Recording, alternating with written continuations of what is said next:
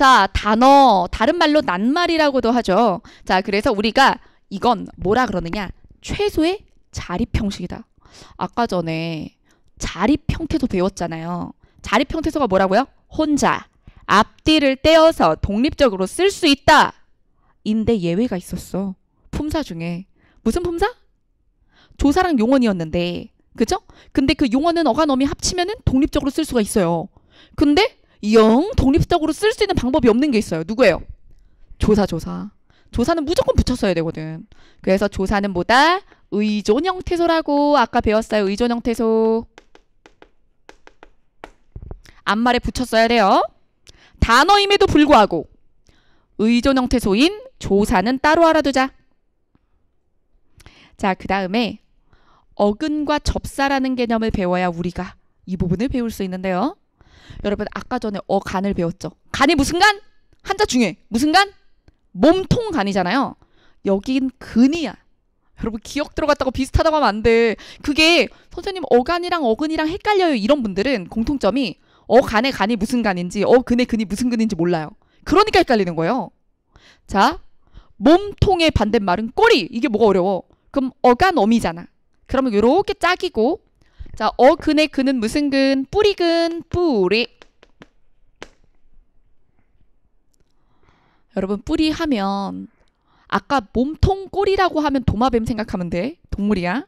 자, 근데 뿌리라고 하면 식물이잖아요. 그죠? 여러분 예전에 기술 가정 시간 과목 있었어요? 더 나이 많으신 분들은 실과라고 했을 겁니다. 자, 어쨌든 뭐 토마토 방울토마토 심고 막 그 학교 화단에다가 그죠? 그리고 막 태극기만 만들고 말이지. 기술 뭐 그리고 젖붙이기 이런 거 배우고 말이야. 한해살이풀 막 이런 거 배우고. 자, 거기서 우리가 이제 그 접사라고 할 때 접이 뭐냐면 붙이다 접자예요. 자, 여러분 이게 붙인다. 접붙이기라는 말이 있죠? 어, 식물을 재배할 때 뭔가 나무의 수종이 같으면 나무 종류가 같으면 저쪽 가지를 썰어서 이쪽 가지에 붙이면 붙어 접붙이기 이런 예, 게 있단 말이에요. 그래서 이거 생각을 해보면 딱 이해가 돼. 뿌리는 하나인데 어떤 가지에 접을 붙인 거야. 그럼 거기서 열매가 좀 남다른 게 열려. 그게 새로운 단어의 탄생이 되는 거죠. 그게 바로 파생어가 만들어지는 과정이에요. 자, 그럼 내용 보죠. 실질적인 의미를 나타내는 뿌리. 이게 어근인데, 근데 거기에, 자, 붙여서, 접, 해서 그 뜻을, 근데 이 뜻이 어휘적인 뜻일 수도 있고, 문법적인 뜻일 수도 있다고 했어요, 접사. 어휘적인 뜻이든, 문법적인 뜻이든, 수식을 해주는 거죠. 자, 그러면 예를 들어 볼게요. 풋사과. 어떤 사과예요? 덜 익었죠? 그냥 사과가 아니라 풋이라는 접사를 붙이면 덜 익었다. 요렇게 되는 거죠. 그래서 한정이라는 말이 수식이라는 말이에요. 자, 그러면 밑에 도식을 설명해 보도록 하겠습니다. 도식을. 자, 여기서 내가 아까 실과라고 했잖아. 기, 뭐 기술 가정 실과라고 했더니 실과 배우신 분들끼리 단합하고 있어 지금. 지금 몇 살 나이 몇 살이야? 그, 지금 그러면 제 또래란 얘긴데 이제 앞자리가 막 이제 바뀌려고 하는 분들인데 되게 좋아하네. 그럼 보시죠. 아 저는 이 공무원 이 수험계에는 정말 다양한 연령분들이 계세요. 예, 그래서 진짜 10대 후반부터 시작해서 어 정말 어 제가 제 수업을 듣고 어, 합격하셔가지고 합격 수기를 남기셨던 만학도 중 최고 연령이 48이었거든요. 예. 그래서 사기업을 다니시다가 예, 기술직이었는데 시험을 아예 보셔가지고 이렇게 붙으셔서 면접 스터디 들어오셨는데 근데 되게 멋있는 게 멋있는 게 연령 차이가 많이 나잖아요. 그럼 면접 스터디 같은 것들을 그냥 눈팅만 하려고 하시거든요. 이렇게 카톡방이나 이런 데서 잘 안 나오신단 말이야. 쑥스러워서. 근데 너무나 씩씩하게 나오셔가지고. 그래서 모든 그 동생들의 사랑을 받으셨어요. 저 아저씨 너무 귀엽다. 막 이러면서 막, 어, 그리고 되게 씩씩하게 막 면접 스터디 하시고, 어, 그리고 이제 본인은 나에게 1%라도 꼰대끼가 남았다면 다 빼고 가겠다. 막 이런. 그리고 가가지고 새내기 해야 되기 때문에 자기는 그래서 되게 멋있는 분이었어요. 그래서 여기 이제 나이 좀 있으신 분들 멋있는 만학도가 되셔가지고 꼭 이렇게 붙으셔서, 그리고 요즘 친구들이 되게 그, 나이가 많은데 붙은 합격자들을 뭐 요즘 MZ 세대들이 배척할 것 같잖아요. 어, 그렇지가 않아요. 굉장히 귀여합니다. 그래서 도와드리려고 막 하고 어 그래서 되게 잘 지내요. 음. 자 그럼 진행할게요. 자 여기서 자꾸 누나라고 부르지 마 여기 30대들 자 어쨌든 내용 볼게요. 단어에 두 가지 종류를 먼저 크게 나눠서 단일어다 복합어다라고 하는데 단일하다의 단자 아까부터 계속 나왔어. 단음절 단순한 거지. 자 그때 단일어라는 건 자 이 어근 뿌리가 하나야. 어근은 하나다. 어근이 하나다. 뿌리가 하나고 접을 붙이지 않은 순수한 상태. 그러니 접사가 없다. 어근이 하나면서 접사 없음. 그럼 순수한 상태야. 음, 그게 단일어고. 그 다음에 복합어는 어근이 많거나 접을 붙인 거죠. 그래서 접사를 붙이면 접사를 플러스하면 파생어가 되고 어근끼리 어근 대 어근을 결합을 해서 어근이 막 두 개 이상이 되면 합성어가 돼요.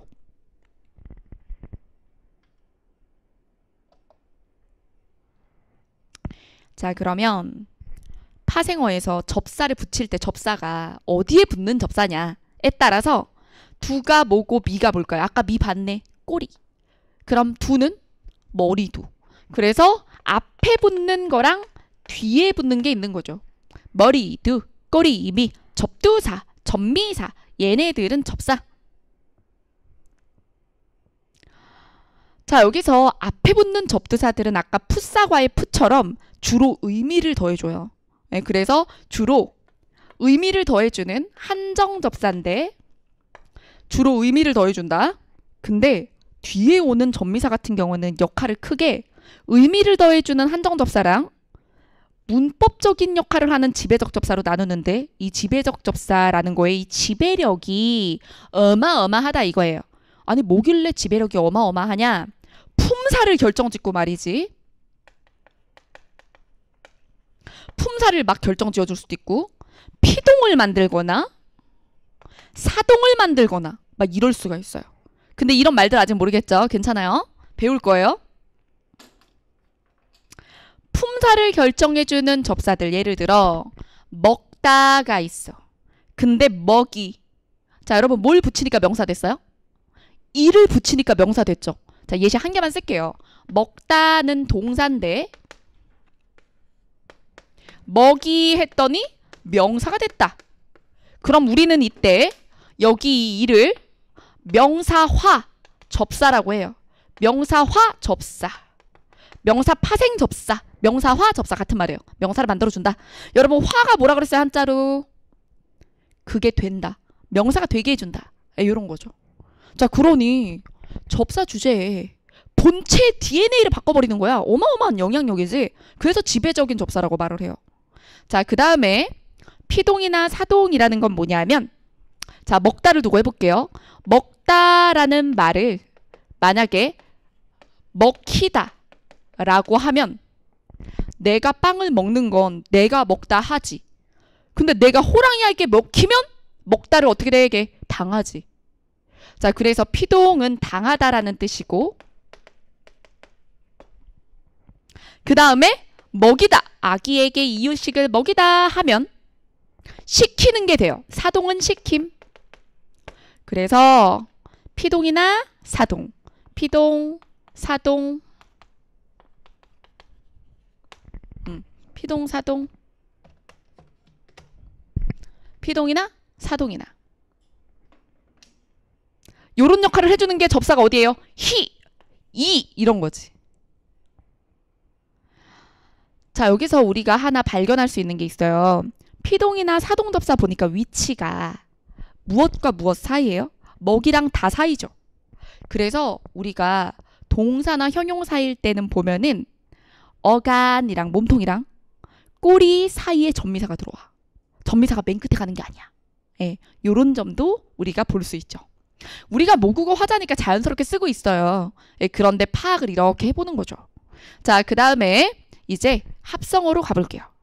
합성은 뿌리 대 뿌리를 한 화분에다 넣는 거예요. 그래서 예를 들어 꽃밭, 꽃다발, 꽃바구니 이렇게 할 때 꽃이라는 어근이 있고 뒤에도 다 단어예요. 밭, 바구니, 다발 이런 것도 다 하나씩 명사거든. 네. 그래서 이렇게 단어와 단어가 결합을 하는 건데 이때 결합하는 방식에 따라서 문법을 잘 지키면서 결합하면 통사적 합성어라고 하고요. 문법을 어기잖아? 그러면 비문법적이다. 자, 이거를 비, 안을 비, 통사가 문장이야. 자, 그러면 문장 문법을 지키지 않았다는 뜻이에요, 이게. 문장 문법을 어긴 것이다. 그래서 이거는 자연스럽게 합성했다. 얘는 아주 반칙하면서 합성했다. 이 뜻이에요. 그럼 이제 여러분들이 쉬마 배우게 되면 어떤 게 룰을 따른 것이고 어떤 게 반칙을 하는 것인지 그 디테일을 배우게 돼요. 자, 그 다음에 여기에 또 의미에 따라서 병렬, 종속, 융합 합성어가 있는데 이거는 두 말이 합쳐질 때 얘네들의 관계를 가지고 얘기를 하는 거예요. 자, 예를 들어 병렬은 A와 B가 결합을 했는데 이게 어근 A, 어근 B인데 얘네들의 중요도가 같아. 중요도가 같아. 음. 아들, 딸이라고 한다고 해봐. 그러면 아들, 딸이 뭐예요? 아들과 딸은 대등. 그리고 부모, 아비부, 어미모. 어, 이러면 이제 뭐다? 병렬이다. 라고 얘기하는 거예요. 근데 종속적인 건 우리나라 말은 앞에서 주로 뒤를 꾸미죠. 앞말이 뒷말을 꾸며. 할미꽃, 어떤 꽃, 할미꽃, 어떤 꽃, 국화꽃, 어떤 꽃, 장미꽃, 어떤 수건, 손수건, 이런 식으로. 어떤 수레, 손수레, 어떤 부처, 돌부처, 어떤 다리, 돌다리, 막 이런 식으로. 그래서 수식을 하는 거예요. 자, 그 다음에 융합은 외국인들이 이거 진짜 싫어해. 단어 외울 때. 아니 상관도 없는 봄과 가을을 합쳤는데 왜 어르신 연세냐. 자 춘추. 올해 춘추가 어떻게 되십니까? 근데 그 춘추라는 말을 갈라서 보면 봄과 가을이잖아요. 근데 올해 봄, 가을 어떻게 되세요? 그게 왜 어르신의 나이, 연세를 묻는 거냐. 이런 건 학습해야 되잖아. 다 건건이 외워야 되지. 예, 그래서 이제 합성어에서 의미 추론이 안 되는 파트. 1 더하기 1 했는데 뿅 5, 6, 10 이렇게 되는 거. 그게 바로 이제 융합 합성어예요. 관습적인 합성어라고도 하죠.